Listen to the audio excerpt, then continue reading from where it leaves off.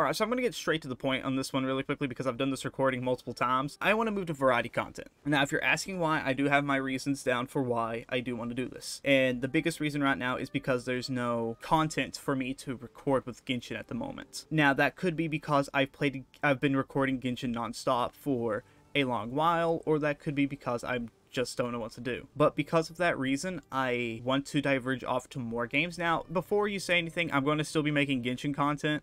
It's just that until I can find some content to do, I'll also be doing other games. So like maybe on Mondays and Tuesdays you'll see maybe like a horror game, and the Wednesday will be the Genshin video. Thursday might be a Honkai. Friday might be something random. Saturday random. It, it's just I record what I want to record when I want. That's technically the entire situation going on now. Now, of course, I'll be open for like game suggestions, all that stuff, because you know it's cool to get a game suggestion from time to time. Oh, and if you, I just don't know what to play, people be like, "Oh yeah, this game's pretty cool. You should go, you know, like try it. That'd be that'd be interesting." That that is if I have the cash for it, or if it's a free to play game. That that also counters in effect. Number two is because I kind of miss doing what I want when I want for videos, you know, because I've been in the mindset right now with how my channel's been growing and everything like that on both the clips in this channel that Genshin has been my most stable form of content because on the clips channel with Genshin stuff like that, I've been gaining thousands of views per video.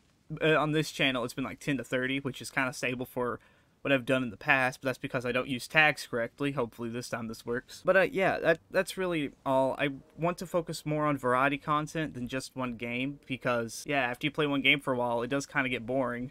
I mean, look at other YouTubers for an example. I'm not going to name any, of course, but like, other YouTubers you've watched, if they just stick with one game for too long, they get bored of it. And it's not the fact I'm getting bored of Genshin, it's the fact I got nothing to do. But yeah, I hope you understand where I'm coming from in that way. And uh, yeah, uh, I, like I said, I'm not done recording or doing anything on this game. I love this game to death, and I love playing it on my free time. I just got nothing to do right now on content. And when I do find something I, I can do, like just goofing around with my friend, like with Maya, I'm going to do it. Because that's how much I love this game, and that's how much I love making content for this game. But that being said, I don't know what my next video is going to be now. I need to go actually focus on trying to figure out what game to play.